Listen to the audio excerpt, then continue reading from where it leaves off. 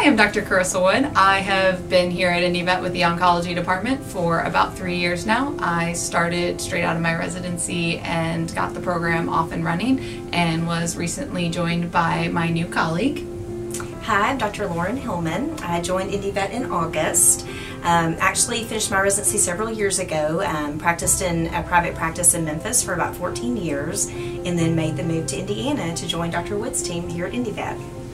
And I know we all get into this for a lot of different reasons. Um, for me personally, um, I got into oncology as a third year vet student. Um, I had seen a case with a mentor of mine um, that ended up being a kind of cancer that can cause a problem somewhere else in the body. And I thought that was really, really interesting. And then um, getting to see um, my mentor interact with the clients and really help them through the process of understanding what the diagnosis meant and really alleviate the fear that they developed once they heard the word cancer and seeing that it can go from being a diagnosis of fear to finding out that there is hope and there are treatment options um, there to help. And I really wanted to be able to bring that to my clients once I got out of school. Yeah, and I think that, you know, I'm similar in that regard. You know, I think cancer is something that touches everyone. You know, unfortunately, people hear the word cancer and it's, you know, very emotional. You know, many people have been touched by this, and so I think the attraction to veterinary oncology for me is being able to do something for pets that also potentially affects people.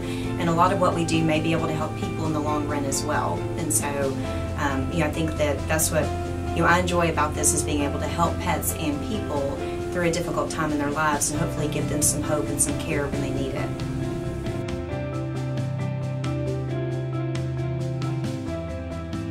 So the most common cancers in dogs is a tough topic, but um, if I had to pick the ones that we probably see most commonly here at IndyVet, it would be lymphoma, um, which is a type of cancer that is found mainly in the lymph nodes of our um, canine uh, companions, and you can feel those underneath the chin, in front of the shoulders, and behind the knees usually.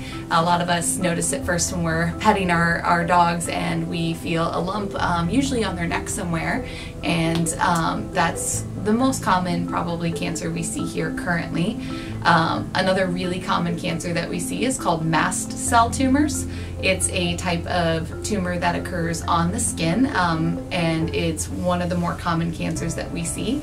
Usually it can look like a raised red mass, it can kind of shrink and it can grow. Sometimes they can bleed a little bit, um, but those are probably the, easily the two most type common type of cancers we see in dogs overall. Do you have any that come to mind? Yeah, and we will see bone cancer. You know, that's another one that we'll see. Well, dogs will maybe have a limp or a swelling, you know, near a joint area. That's something common that we'll see. And we also see a lot of skin tumors. You know, like Dr. Wood said, mast cell tumors are very common, but there can be other lumps and bumps that, you know, that should be evaluated by you, your primary care veterinarian or us here at IndyVet just to make sure they're not something of more concern.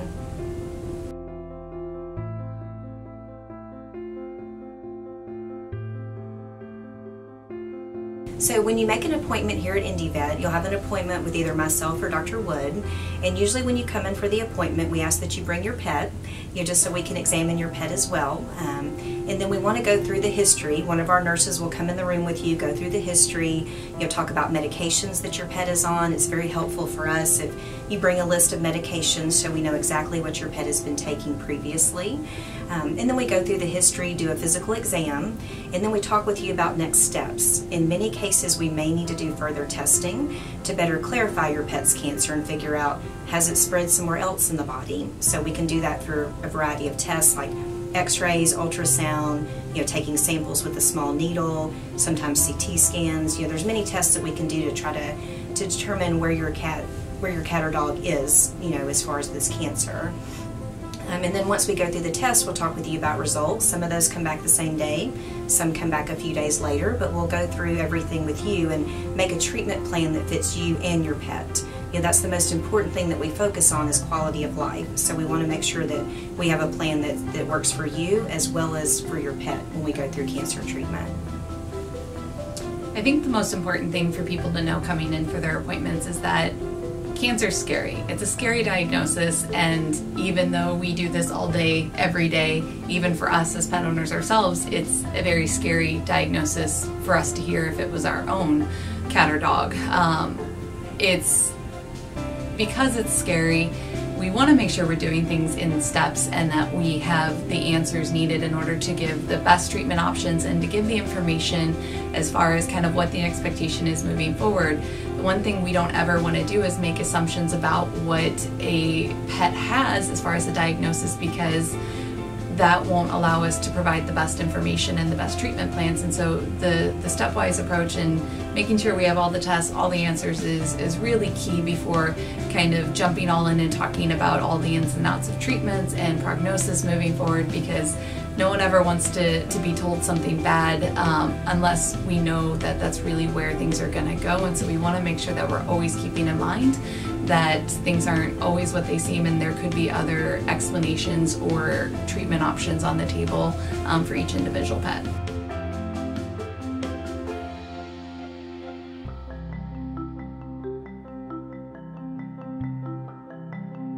So this is something I get made fun of for a lot by my friends and family um, when we are out um, just either taking a walk or just um, at the dog park when I see certain breeds and I'm like, oh, wonder if they need a vet. Um, it's because there are certain breeds that are more predisposed to developing cancer than others.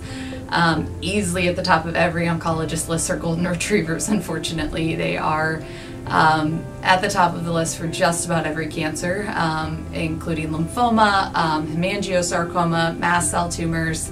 Um, they kind of range the gamut across the, the board, and so those that is a particular breed that we always are watching for. Um, the ones that kind of pop into my mind, and they may be different from what Dr. Hillman thinks of, are breeds, the black and tan breeds, the Doberman Pinschers, um, the Rottweilers, and then um, I do consider German Shepherds the black and tan breeds. Um, they're always at the list. Um, and then the Boxer, unfortunately, is right up there with the Golden Retriever and being um, really at risk for a lot of our cancer types, unfortunately. Um, in the boxers, we do see a high number of mast cell tumors, that skin tumor that we had talked about earlier. Um, and then as far as kind of the smaller breeds that um, I think about, um, that gets a little bit tougher, but um, I would say that um, we do see a fair number of the terrier group in general. Um, Scotty, Scottish Terriers are um, commonly seen for things like bladder cancer and then also things like liver tumors. Um, and then we also have the Cocker Spaniels that like to get things like um, oral melanomas, but those are kind of the ones that I really um, think about. And then my all-time kind of when I see it in the clinic, I kind of walk right up to it and I start feeling lymph nodes and just kind of chatting up and seeing why it's here are Bernese Mountain Dogs. Unfortunately, um, they're a, a, great dog, but they're very, very predisposed to developing one particular cancer as well as a couple others. Um, and in fact, upwards of 60% of Bernese mountain dogs um, will actually die from one particular cancer called histiocytic sarcoma. So it's really important to be aware of that as an owner if you're going to um, consider adding one of these breeds to your family and understanding that they're predisposed to these things and we need to plan for them down the road. And um, things like pet insurance can help um, with costs um, and it's great to not have to worry about that later on. As far as cats go, um, I have a huge interest in treating cats. Um, I, I absolutely love cats, um, and we don't really see a particular breed too often in cats. Um, most are just domestic short hairs um, and domestic long hairs, though the Siamese does tend to get a lot more of the cancers um, than other breeds out there, but we don't see a, a large number here in Indiana, Indianapolis. but those are really the ones I think of. Yeah, and I, I, don't ever discount the mixed breed dog. You know, a lot of people, you know, you go to the, the shelter, you rescue a pet, and so, you know, mixed breed dogs, we do see them as well. You know, so I think anytime you have a concern, the most important thing, you know, is to talk to your primary care veterinarian. You know, they can get your referral to see us here at IndyVet if needed. You know, we just want to, you know, take care of, of any concerns that you have, you know, regardless of the breed as well.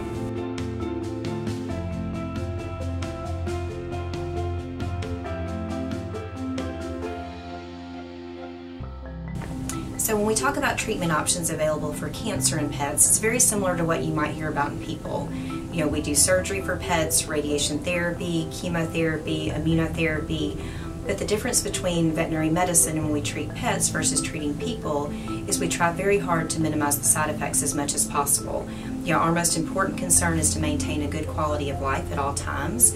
You know, no one can explain to the pet that they have cancer. So our job is to make sure they have as many good days here with us as possible. So we do use, you know, the same chemotherapy drugs people get, but dogs and cats actually tolerate them really well. Um, you know, the incidence of side effects is fairly low compared to what people experience. Um, so I do think all of these treatment options, you know, can be used sometimes alone, sometimes in combination. You know, it really just depends on the type of cancer as to what treatment option we feel is best for your pet. But overall, they do tolerate cancer treatments extremely well. Um, so that's an important thing to focus on when we think about these treatments in pets. As far as um, treatment options go, we, we can do basically everything in veterinary medicine that they are utilizing in human oncology. The, the biggest question I always seem to get um, is whether or not cats in particular can receive um, treatment for their cancer. Um, no one ever seems to hesitate to consider dogs for treatment, but it is a big question we get with regards to our feline patients. And in my experience, cats do great with treatment for their cancer. Um, they're very tolerant. They actually adapt very well to the frequent visits. Um, we have one that's here with us right now, and he loves being here. Um, he he has his routine, and he really loves interacting with the staff, and he likes his his visits um, and the treats that he knows he's going to get, and he knows exactly when he's ready for them, and he he always lets us know it's time. Um, it's a it's definitely something we're working to help owners understand that cats can handle all forms of therapy just as well as dogs can. Um, it's just they're maybe a little bit louder about it in the car on the way here. That's perfectly fine. Um, we have ways we can help with that as well. Um, there are definitely um, different ways to enrich the environment and to help make car rides less stressful for them. But at the end of the day, I do find that cats actually have an even lower um, side effect rate than dogs do to their treatment, um, and they they just really sail through and do awesome. Um, and I think it's it's something that. Um, I would love owners to, to really know before they come in um, for their appointment or when they're considering referral that um, being a feline patient definitely does not exclude you from treatment um, and it does not exclude you from even potentially aggressive treatment um, because they do very well.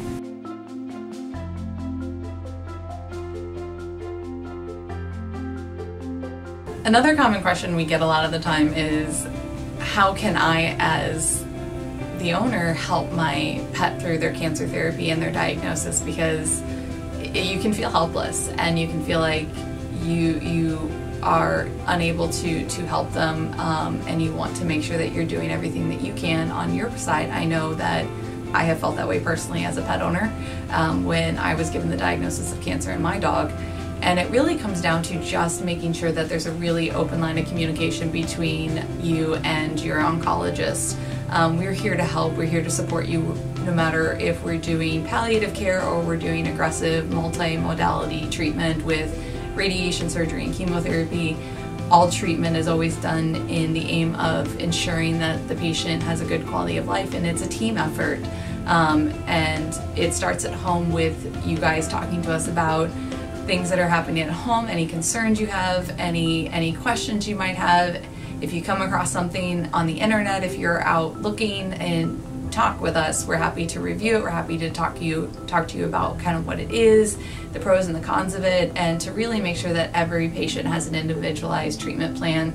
Um, and then just being there for your pet. Um, it's scary because you know what's going on, but they also know how you are feeling. And so just making sure that you're giving them lots of attention and that you're being there for them um, and making them feel very loved and very supported is going to be really the best things as an owner that you can do. Um, throwing in a couple extra treats every now and then certainly not going to go wrong.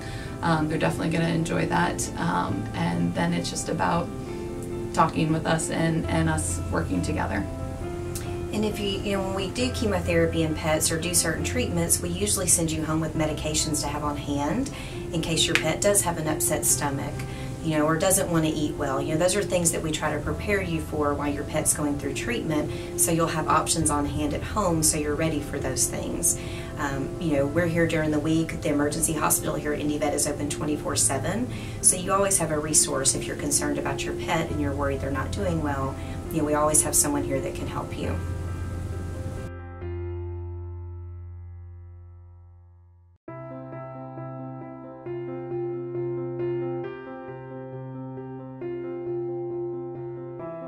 So, probably one of the most frustrating things as an owner um, is when you hear us say that we are not going to be able to cure the cancer.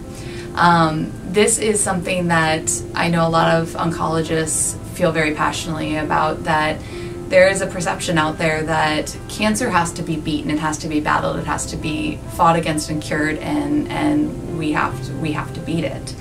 Um, it's funny because you don't hear people going around um, saying that we have to cure diabetes or beat heart disease or any other chronic condition. Um, we know that those are, are, diseases that we're going to have to treat and we're going to have to manage, and they're probably going to be for the lifetime of the patient.